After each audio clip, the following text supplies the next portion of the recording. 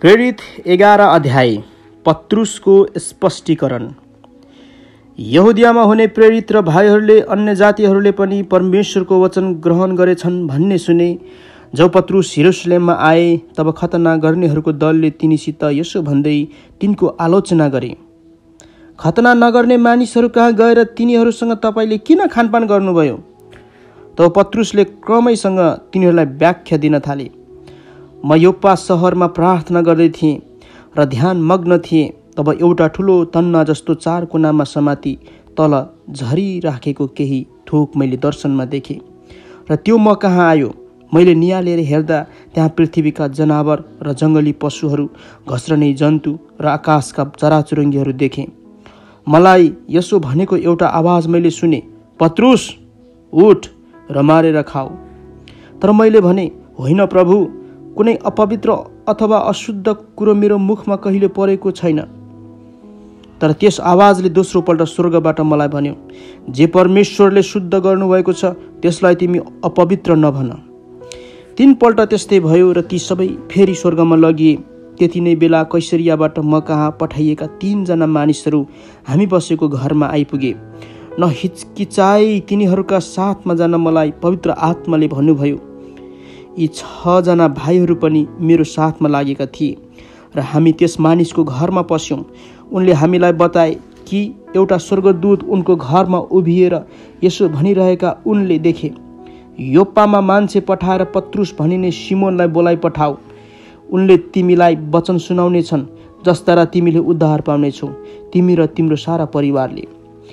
जब मैले बोल्न थालेँ तब सुरुमा हामीमाथि ओर्लनु भएको जस्तै पवित्र आत्मा तिनीहरूमाथि पनि ओर्लनु भयो। तब प्रभुले भन्नुभएको त्यो वचन मलाई याद भयो।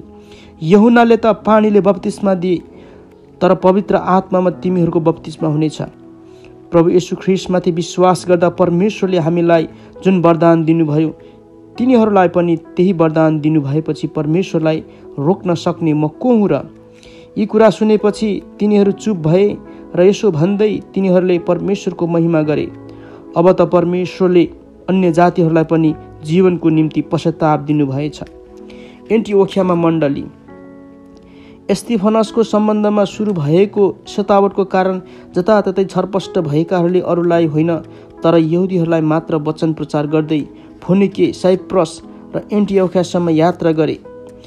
तर तिनीहरूमध्ये कोही कोही साइप्रस र कुरेनियस कुरेनीका मानिसहरू थिए। तिनीहरूले एन्टियोख्यामा आएर ग्रिकहरूलाई पनि प्रभु यसु प्रचार गरे। प्रभुको बाहुली तिनीहरूसँग भएकोले विश्वास गर्नेहरू धेरै सङ्ख्यामा प्रभुतिर फर्के।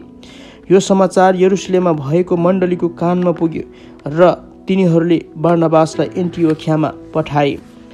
तिनी त्यहाँ आएर परमेश्वरको अनुग्रह देखिकन खुसी भए। र तिनीहरू सबैलाई सम्पूर्ण हृदयले प्रभुप्रति विश्वासी रहिरहन प्रोत्साहन दिए। किनभने तिनी असल पवित्र आत्मा र विश्वासले भरिपूर्ण भएका मानिस थिए।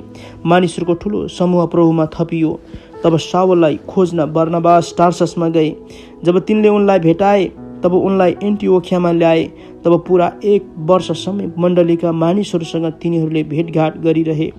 र मानिसहरूको ठुलो समूहलाई शिक्षा दिए। चेलाहरू पहिलो पटक एन्टिओखियामा नै क्रिस्चियन भनिए। त्यस बेला कोही अगमवक्ताहरू यरुसलेमबाट एन्टिओखियामा आए। तिनीहरूमध्ये अगावस नाउँ भएका एकजना खडा भएर सारा संसारमा ठुलो अनिकाल पर्न आँटेको छ भन्ने पवित्र आत्माद्वारा भविष्यवाणी बोले।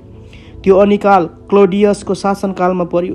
तब चेलाहरू हरेकले आफ्नो औकात अनुसार यहुदियामा बस्ने भाइहरूका सहायताको निम्ति भेटी पठाउने निश्चय गर्यो।